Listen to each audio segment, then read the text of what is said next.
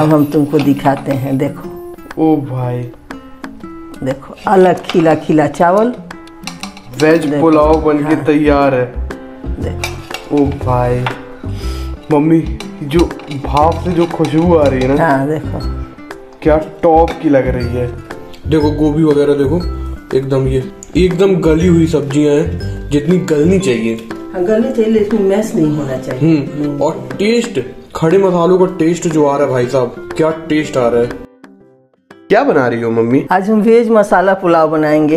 Veg masala pulao? हाँ ये बहुत ही मज़ेदार होता है खाने में और फटाफट बन भी जाता है। सब्जियों का सीज़न आया मतलब वेज मसाला हाँ बस। अब ये रोज रोज के एक ही खाना खा के आदमी उब जाता है थोड़ा चेंजिंग के लिए बहुत अच्छा होता है। तो देखो हम सरसों का तेल इसमें डाल लिए हैं। ये एक चम्मच जीरा है ये चार लौंग है दो बड़ी इलायची है चार छोटी इलायची है दो स्टार है जायत्री है एक इंच का टुकड़ा ये दालचीनी है एक तेजपात है। ये सबको हम इसमें डाल देंगे। मम्मी वेज पुलाव में खड़े मसालों का इस्तेमाल तो होता ही है। हाँ अब बस आँच को कम रखेंगे ध्यान रहे कि मसाला जले नहीं।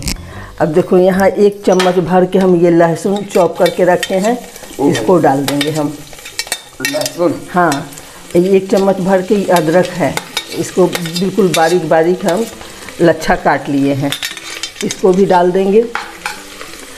अब देखो दो ये हम ये लच्छा काट लिए हैं प्याज का। इसको हम ऐसे खोल के डाल देंगे। अब देखो इसको हम गोल्डन ब्राउन होने तक भूनेंगे। प्याज को बहुत अच्छी तरह भूनना है तभी जाके स्वाद आएगा। ठीक है। अब देखिए प्याज लहसुन अदरक जो था बिल्कुल परफेक्ट भून गया है। थोड़ा सा तेल को एक साइड कर लें। ये मिर्ची को हम डाल देंगे इसमें। चार मिर्ची। हाँ अब देखिए एक ये आलू है। आप अपने इच्छा के अनुसार आलू लीजिए एक ही दो लीजिए जितना मन कर लीजिए। और देखिए ये गोभी है इसको हम काट लिए हैं। गाजर है इसमें इच्छा अनुसार अपने पसंद के अनुसार सब्ज़ी डालना है जो नहीं पसंद है उसको हटा देना है। मम्मी सब तो मेरी पसंदीदा सब्ज़ी है। हाँ। मम्मी तुम्हें अच्छा हुआ आपने बैगन नहीं डाला। नहीं बैगन लौकी नहीं डलता। माहौल खराब हो जाता वरना लड़कों का। भाई लड़के बच्चे सब बना लेंगे ये। मम्मी वेज पुलाव तो मतलब लड़कों की चीज़ है। हाँ फटाफट। देखो अच्छा मतलब टेस्टी भी लगता है चेंज भी लगता है फटाफट बन भी जाता है। ज़्यादा बर्तन भी नहीं चाहिए कुछ नहीं एक ही बर्तन। अब थोड़ी सा इसको हम भूनेंगे। हाँ अब देखिए यहाँ ये इतना हम फ्रोजन मटर डाल दे रहे हैं। अब फ्रेश मटर का अगर सीज़न हो तो फ्रेश मटर तो सबसे अच्छा होगा। फ्रोजन मटर गए मम्मी। हाँ ये भी बहुत अच्छा बनता है। पहले तो मिलता नहीं होगा मम्मी है ना? नहीं तो पहले ये सब नहीं मिलता था। अब हर जगह सुविधा हो गई हाँ है। पहले सीज़न गया तो गया ऐसा था। अब देखो यहाँ हम नमक डाल देंगे। नमक? हाँ। देखिए ये छोटे चम्मच से दो चम्मच हम नमक डाल दिए। ये दो चम्मच की किचन किंग मसाला है। Kitchen King? हाँ अगर किसी के पास बिरयानी मसाला है तो दो चम्मच वो डाल सकता है। अगर नहीं है तो एक एक चम्मच धनिया हल्दी मिर्ची में से सब मिला के दो चम्मच डाल दे। अरे पाँच रुपए का पैकेट आता है मम्मी किचन किंग का। हाँ क्योंकि ये इसका खुशबू अलग होता है। लड़के लोग तो ले आएँगे जाके। हाँ सबको हिलाएगा हॉस्टल और देखिए ये ये फेंटा हुआ दही है दो चम्मच। दही ओ भाई। हाँ। अब थोड़ी सा हम और तीखा थोड़ा बढ़ाने के लिए हम इसको क्या करेंगे छोटे चम्मच से ही इसको हम थोड़ी सा ये डाल देंगे ये मिर्ची।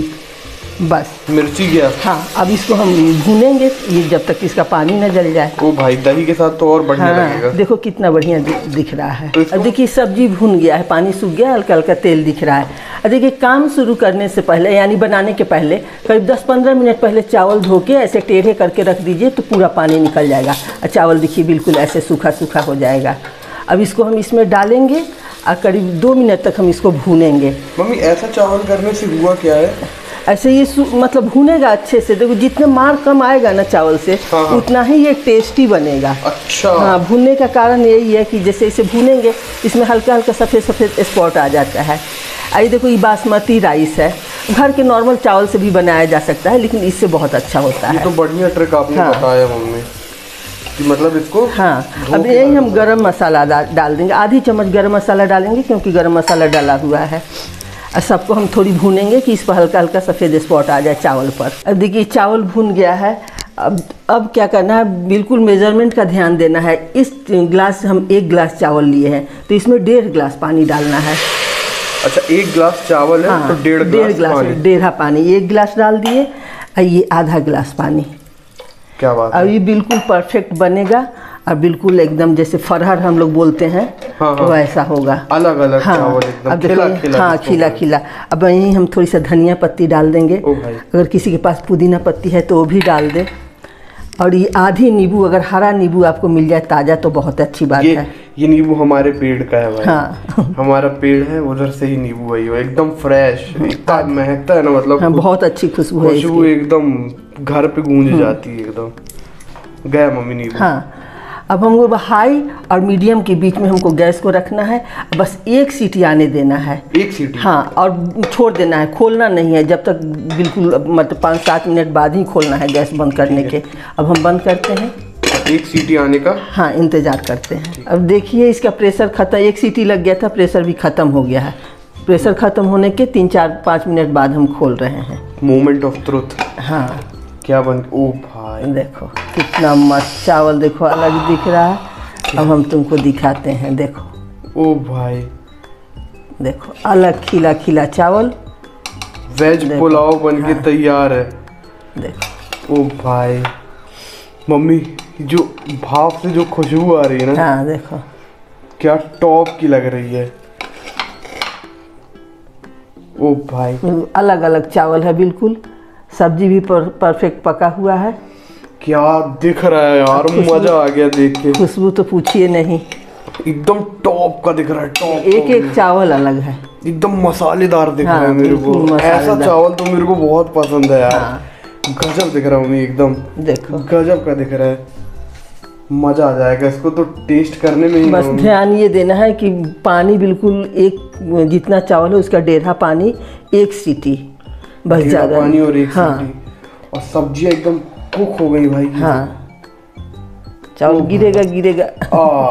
कोई बात नहीं। बहुत मस्त दिख रहा मम्मी। मैं क्या बोल रहा हूँ? हाँ। थोड़ा सा हल्का सा ना टेस्टिंग हो जाए आज तो क्या हाँ मज़ा हाँ जाएगा टेस्टिंग तो हो जाएगा वो तो हमको पता था। क्या बात है चलो तो- मसालेदार दिख रहा है। हाँ टेस्टिंग ही कर लो। चलो टेस्टिंग किया जाए हाँ, गरम गरम ज़्यादा अच्छा लगेगा भी। हाँ। मम्मी करूँ टेस्टिंग हाँ करो। करने जा रहा हूँ मैं टेस्टिंग रुको। वैसे ये सब चीज़ की ज़रूरत है नहीं अपन को। हाँ। दही वगैरह की। उतनी ज़रूरत है नहीं लेकिन फिर भी। इसमें डाल के खाओ ना अच्छा लगेगा। ये इसमें कोई चीज़ की ज़रूरत नहीं मम्मी। हाँ। वेज पुलाव वेज पुलाव है। इसके सामने तो बिरयानी फेल है। क्या बात है। करूँ टेस्ट मम्मी। हाँ। First bite. हाँ। पता कैसा बना मम्मी? हाँ। सुपर बना सुपर। हाँ। गजब का लग रहा है। जो जो मसाला पड़ा है एकदम। देखो गोभी वगैरह देखो एकदम ये एकदम गली हुई सब्ज़ियाँ हैं जितनी गलनी चाहिए। हाँ गलनी चाहिए लेकिन मैश नहीं होना चाहिए। हम्म और टेस्ट खड़े मसालों का टेस्ट जो आ रहा है भाई साहब क्या टेस्ट आ रहा है? मसालेदार राइस लग रहा है एकदम खाने में। बहुत गजब लग रहा है। दही नींबू का टीका रहा है कि नहीं? हम्म। मेन तो वही है ना। आज तो मम्मी लग नहीं रहा था बनेगा। अरे लाइट इतना परेशान किया बाप रे बीच बीच में जा जा के बहुत परेशान किया लाइट एक बाइट प्याज के साथ ली जाए भाई। इतना तेज पानी में तो लाइट जाएगा ना बेटा। गजब का लग रहा है हाँ पानी बहुत ज़बरदस्त आया। पानी बरसा बहुत बरसा। गजब का लग रहा है मम्मी गजब का एकदम।